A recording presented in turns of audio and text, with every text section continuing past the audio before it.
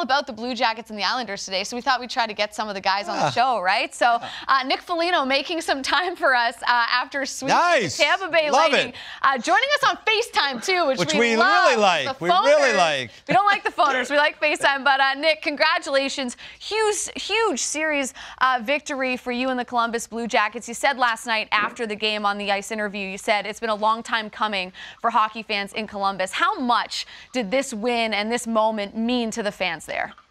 Well, you should have seen how much work it was to get this FaceTime up and running, but I'm glad we got that figured out. Um, but man, I mean, uh, just you know, trying to you're not trying to you're trying to stay in the moment and not really reflect too much, but just seeing how how the fans reacted last night and uh, just the the way everyone felt in that arena, the the the noise in that arena. Um, you know, seeing people day one people, uh, you know, from security guards to people working to to fans. I mean, it was it was just unbelievable to be a part of, and so happy for the organization and the McConnell family. But you know, we really feel like we're not done. We got a lot more work to do. The job's not done, obviously, and, and we're excited about the opportunity in front of us. Hey Nick, you know I've talked a couple times today about the uh, the way you guys were able to execute the game plan. I thought that uh, I wanted to give credit to your scouting staff and to your coaching staff in that they came up with a real plan for you guys, and then of course you guys were able to execute it. Talk about what you guys discussed prior to the series in terms of things you had to do to beat Tampa. Yeah, I mean, we obviously knew we had our hands full uh, with a team like that, and uh, and with the, the regular season they had and the weapons. And uh, I just thought our, our coaching staff gave us a, a very direct and simple game plan, and, and the guys were excited about it. We knew that that's what we needed to do in order to win. We've obviously played them during the season, uh, didn't have great success, so we were excited about that opportunity of, of rectifying it just by some simple tweaks, really, in, in our game and uh, and tightening up, obviously defensively, and and but but still you know, finding that balance. I think you watched of, of, tightening up defensively, but but also going after them and then playing that that aggressive forechecking style that we play. And um, and I thought the guys bought in tremendously. And it's a credit to our coaching staff for not filling our heads with too much information against a team like that and and letting us go play, but knowing that this was the the, the three simple things that that were going to help us in this series, and the rest we we said go out and execute. And uh, couldn't be more proud of this group. Well, Nick, I, everyone talked about Tampa and the season they had, and then the first period comes in game one. It's 3 nothing, right? Take me inside the locker room there and what you guys are saying and what just happened and where do we go from here?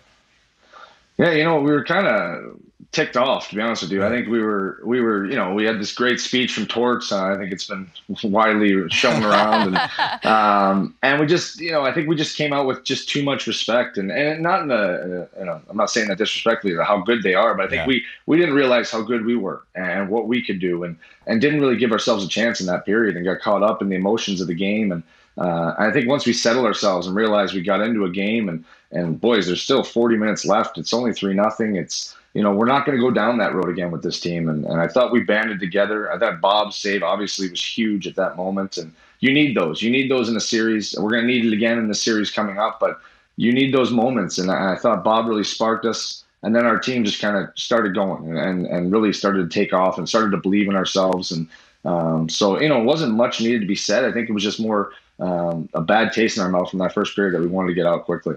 Nick, this team has faced so much adversity, for lack of a better word, over the last year and a half. I mean, if you, even if you go back to the first round of last year's Stanley Cup playoffs, you know, almost being so close to going up 3 nothing on the eventual Stanley Cup champions. Then you talk about the deadline, all of the talk around Bobrovsky and Panarin. There's been so much talk around the Columbus Blue Jackets. How much do you think that adversity kind of bonded you guys together and actually made you a better team? Absolutely, I think you hit it right on the head. I, I think you know it's it's unfortunate that we kind of struggled when we made those acquisitions at the deadline, especially. And um, but what I think happened was I think those guys when we finally got through it and and had some honesty about our game, especially in Vancouver and uh, right before that that uh, that game, um, I think they feel like they're a part of it now. They've they've taken ownership, the new guys and and the guys that are here. Uh, we've understood who we are and who we need to be in order to be successful. And you know, this whole year has, obviously been a lot of adversity uh, in our room, and uh, things have been talked about outside our room that are out of our control. And I thought we've done a great job of, of handling it and, and, and coming together. And I think that moment uh, right before, right after the Edmonton game, right before the Vancouver game, I think it just was was our turning point of, of who we wanted to be, who we want to be remembered as, and with this group. And and, and we run with it. And obviously the job's not done. Uh, one series doesn't make it, but I think we just you're starting to see the the you know the results from from banding together as a group. And I mean, you look at the celebrations on the bench. I don't know who's more excited, the guys on the ice, the guys on the bench. And um, that shows a lot about your group. And I couldn't be more proud of these guys and and the this the you know unselfishness that we have right now. That whoever's scoring, whoever's making a save or a big play uh, everybody is thrilled for him, and, and we're going to need more of that. Hey, the guy who was the most excited was that crazy guy behind Torts. I mean, that guy, I don't know if you saw the video. I just saw the, the beer going nuts. And, yeah, that, was, yeah, that, that, was, that uh, guy was definitely the most excited guy that I yeah. saw last night. One thing for, for and you're going to show the video of it here again at Torts behind the bench, but uh, I think it was his relative. Yeah, might, sure. hey, listen, might have been. You never know. So what do you do now? You got some time on your hands. What's the plan for for Nick Foligno and the Columbus Blue Jackets for the next couple of days?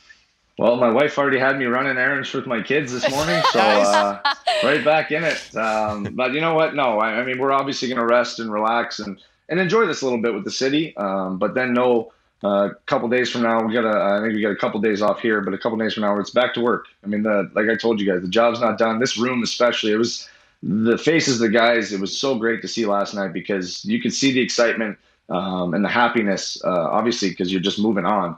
But you could see it in everyone's face. Like we want more. It's almost, uh, you know, it's it's like a drug. You said when you get that taste. Uh, a lot of us haven't experienced that as a group here, so we want more. We're excited about that, and we know it's going to get harder. So I think that focus and and and going through the things we've gone through of years previous, and uh, we're we're going to make sure we're we're taking full advantage of this opportunity we've given ourselves, and and we're going to have a, a, lot of fun with our fans and with uh, with the people here in Columbus, and and just try and keep this thing rolling.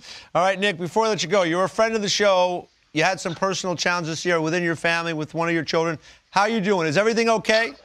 Yeah, thank you. I appreciate that. No, we're uh, we're back to full health here, and yes, uh, I, had, I, had, a good sit down with the kids and said no more funny business until the playoffs are over. Um, but uh, yeah, it's been a Great. it's been a, a trial and error, but uh, I'm really proud of them. They've they fought and so much support from so many people we can't thank enough. So I appreciate you asking. Thank That's you. That's really, really good news. That's awesome, yeah. to hear. Uh, listen, congratulations again on the big win and best of luck the rest of the way. Thanks, guys. Thanks for having me on. Always good to talk to you.